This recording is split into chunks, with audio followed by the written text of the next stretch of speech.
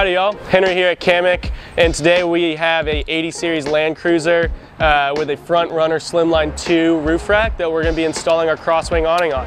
And what you're going to see in this video is how we take some uh, very cheap aftermarket tools and uh, our stock mounting hardware kit that comes included in your crosswing awning and going to be pairing those together to create a really seamless, uh, nice look on this front runner. The customer had an old awning on here where he had gone and created some chocks about the exact same height as this profile on the Slimline 2. And that's something that's unique to this um, brand's rack is they have a little lip that runs around the entire perimeter. We're actually going to repurpose these um, as they're the perfect height for our awning. And so what this essentially is, is we're creating a standoff. This is our standard talon mount right here.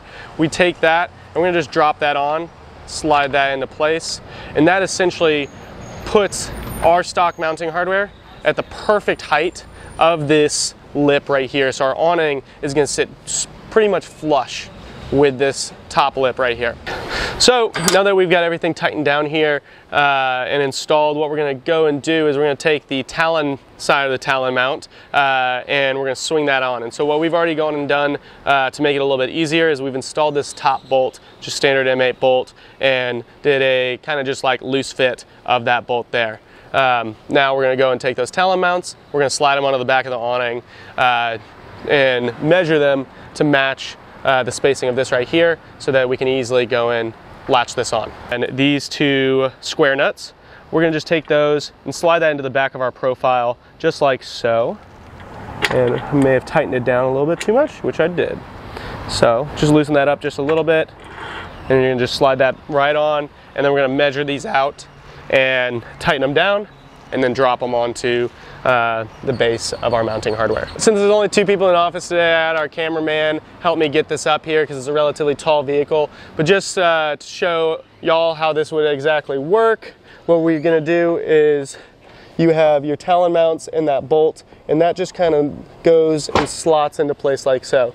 And this is able to go and rest uh, fully supported like this to allow you to go grab the other bolts and install them at your desired angle. So now that we've got all of the hardware tightened down on the back of this profile, positioned exactly how we want it, what we're gonna go and do is set the angle.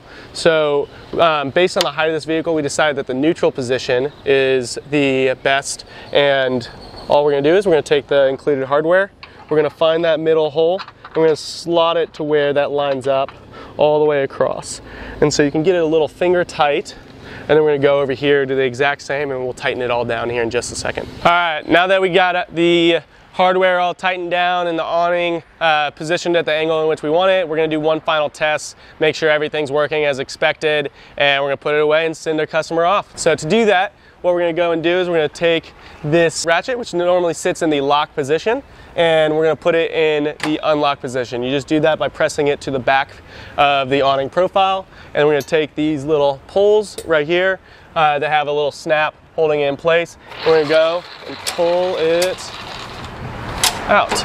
And so what you listen for when going and doing this is you're listening for the clicks and you should hear three when pulling out. There's three positions in which you can open this awning to. Right now we have this deployed to the furthest and if you were going and setting up You're good. Just roll with it, man. All right. it's a busy day here in East Austin, Texas. Very busy day. So in its open most position, let's say you're going and staying uh, here, you're gonna set up for camp, what have you, you'd go and take this, put it back in the lock position, and then to tighten up the awning fabric, all you gotta do is press up, up, up, up. That tightens the whole awning up, brings it tightens all the poles, tightens the fabric. It's just gonna be, uh, it also raises that front faceplate a little bit. Um, this is how we typically set it up. Once you're ready to put it back away, you'd take that, the same lever, and you're gonna take it and you're gonna unlock it, just like so.